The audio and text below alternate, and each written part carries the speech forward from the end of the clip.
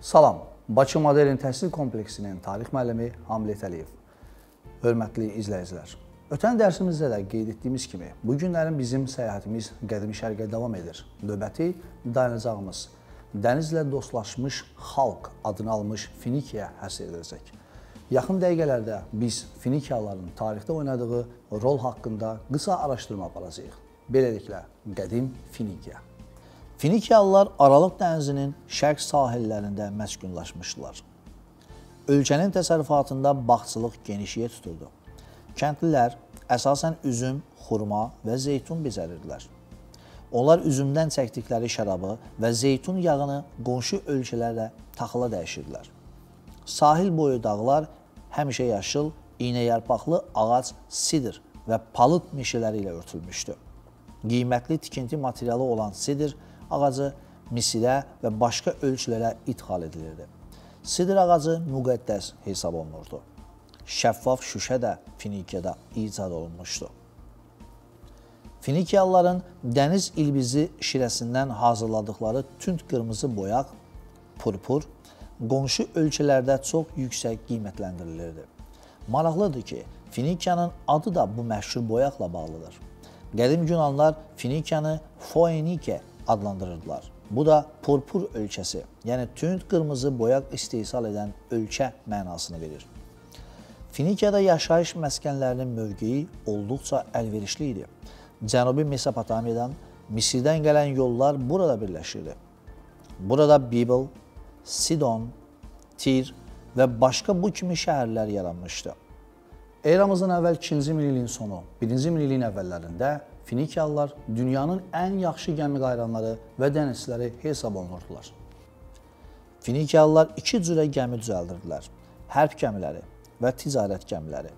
Hərb gəmilərin metaldan hazırlanmış burnu döyüş vaxtı düşmən gəmilərini yanlardan vurur, onları deşirdi. Dənizçilər Aralıq dənizi boyunca üzür, hətta Atlantik okeanına çıxırdılar.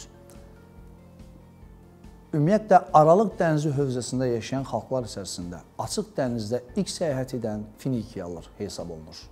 Finikiya tazilləri dəniz yolu ilə ticarət aparır. Finikiya, Misir və Babil mallarını Yunanistanda, Yunan mallarını isə şərqdə satırdılar. Finikiyalılar dəniz quldurluğu ilə də məşğul olmuşdular.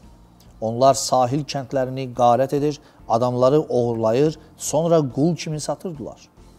Finikiyalılar Aralıq dənizi sahillərində və adalarında özlərinin daimi məskənləri, koloniyalarını da yaratmağa başlamışdılar. Qədim dövrdə koloniya bir ölkənin başqa yerdən köçüb gələn insanların yaşadığı yerlərə deyilirdi. Eramızdan əvvəl 16-cı əsrdə İspaniyada, Şimali Afrikada, habelə Kipr, Siciliya, Sardiniya adaları və başqa ərazilərdə Finikiyanın koloniyaları yaranmışdı. Bəzi koloniyalar sonralar böyük quldar dövlətlərinə çevrilmişdi.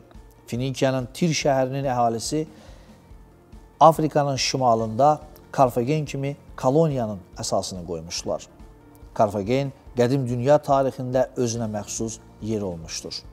Finikiyanın sahil şəhərlərində yaşayan əhali sənətkarlıq, ticarət və dənizçiliklə məşğul olurdular.